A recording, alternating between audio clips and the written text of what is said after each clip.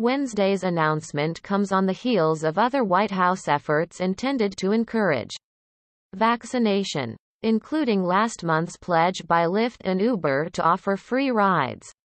An Uber spokesman said Wednesday that 60,000 people have taken advantage of the offer since it began offering the service last Monday.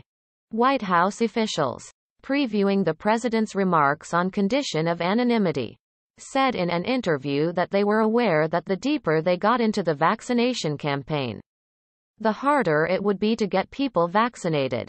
The president's goal, they said, is to make vaccination easy free and convenient, and even a little bit fun. That may be where the celebrities come in. But they would not offer details. Demand for the vaccine is dropping.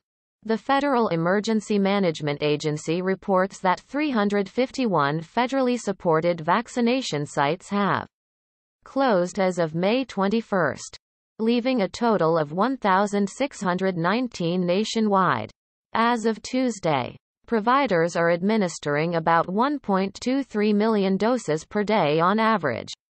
About a 64% decrease from the peak of 3.38 million reported on April 13. According to CDC data, lack of childcare remains a major barrier to vaccination.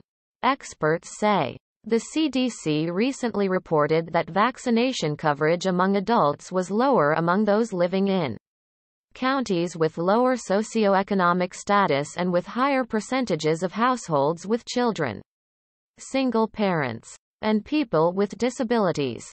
In previewing the president's announcement, White House officials said two of the four providers, KinderCare and Learning Care Group, which together have more than 2,500 sites around the country, will offer free drop-in appointments to any parent or caregiver who needs support to get vaccinated or recover from vaccination.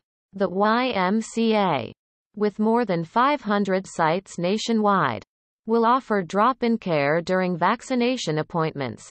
The officials said. And Bright Horizons, which partners with more than 1,100 employers to provide childcare will also offer free care to support the vaccination of more than 10 million workers employed by the companies they serve.